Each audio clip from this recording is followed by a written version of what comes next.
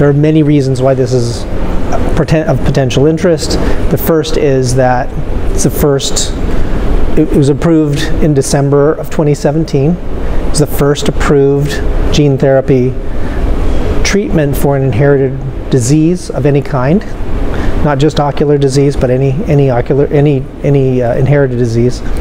Um, there were two other gene therapy products which were approved, but both of them were for cells that were removed from the body, transformed, transfected with genes, and then placed back into the body.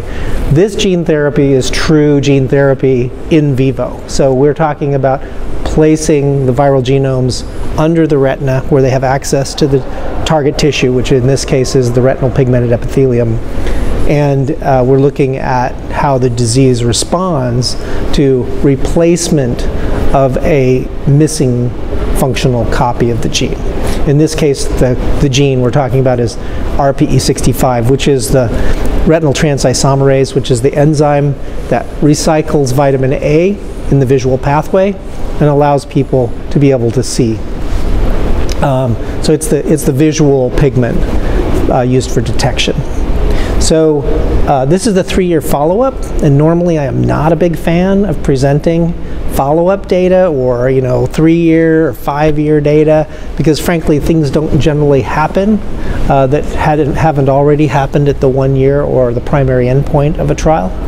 But in this particular, and and that's true in this study too. So I'll, I'll ruin I'll ruin any suspense and just tell you in advance that the results are going to look very similar to the one-year follow-up, uh, the the uh, one-year um, primary endpoint data that we presented to the FDA. Um, and but but the question, the reason why I elected to come and give this talk, because normally I don't like to give three-year follow-up, five-year follow-up kind of trial information, is that there was before we started our trial, there were three other trials looking at gene therapy for this particular gene, RPE65. One of those groups published a paper which claimed that by year three, the durability of the treatment had completely worn off. And so there were there have been ongoing concerns from payers, ongoing uh, concerns by treating physicians, inherited retinal disease specialists about whether this kind of therapy, a gene intervention trial where you replace the gene, whether the gene is going to remain active, because this is essentially uh, a potentially one and done kind of treatment.